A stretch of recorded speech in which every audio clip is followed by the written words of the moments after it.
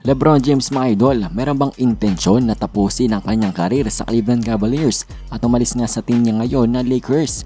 Yan nga mga idol ang mga spekulasyon matapos nga ng mga naging interview nito ni Lebron James. Natanong nga kasi siya mga idol nung practice nga ng mga all-star players patungkol nga sa posibilidad sa pagbalik niya sa dati niyang team ng Cleveland Cavaliers. Ang sagot nga dyan ni Lebron James mga idol, the door's not closed on that. Hindi pa nga daw mga idol sinasarahan ni Lebron James ng oportunidad na bumalik nga siya sa kanyang team na Cavaliers. Pero mga idol, sinabi rin neto ni Lebron, hindi ko naman na sinasabi na babalik ako at maglalaro. Sabi niya isa ngayon daw ay hindi niya alam kung ano ang kanyang future. Yan nga mga idol ang naging sagot ni Lebron James na nagumpisa nga ng mga rumor baka nga talaga'y bumalik itong si Lebron sa Cavaliers. At hindi lamang yan mga idol dahil sa interview nga rin, itong si Lebron James ay may nasabi. Nabanggit niya nga sa interview mga idol na ang lugar nga daw ng Cleveland ay dapat maging proud sa kanilang mga all-star player na si Darius Garland at si Jarrett Allen at idinagdag ni Lebron James ang sarili niya. Dapat nga daw na maging proud ang lugar ng Cleveland dahil meron silang tatlong all-star, si Garland, si Allen at itong si Lebron. Yan nga mga idol ang mga sign ayon sa mga NBA fans na nagsasabi si Lebron James ay babalik talaga dito sa team ng Cavaliers. Pero anyways mga idol kayo ba? Ano sa tingin nyo? Anong opinion nyo dito?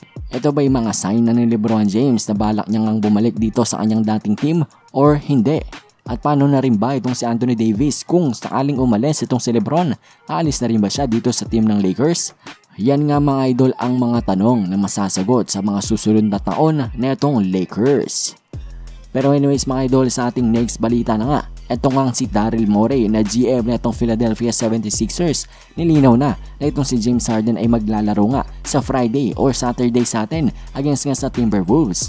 Officialing maglalaro na si Harden mga idol para nga sa kanyang bagong team na Philadelphia 76ers makikita na natin sa wakas mga idol ano bang tunay na potensyal nitong Sixers team. Ngayong dinagdag nga nila itong superstar na si James Harden. Ano ba magiging itsura ng pairing or duo netong MVP candidate na si Joel Embiid at isang former MVP na si James Harden? Yan mga idol ang exciting na dapat nating abangan at panoorin sa Sabado nga against sa team ng Timberwolves. Pero anyways mga idol, para nga sa ating next at panghuling balita na, Trey ang mga idol pinagmumura ng mga New York Knicks fans. Sa isa kasing concert ng isang sikat na rapper sa New York mga idol ay ito, bigla na nga lang may nagsigawan at nagchat ng pagmura dito kay Trey Young. Panorin natin mga idol.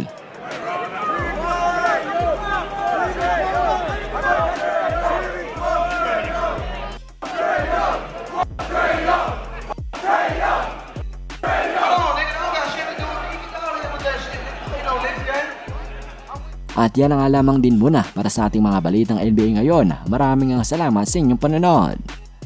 Bye!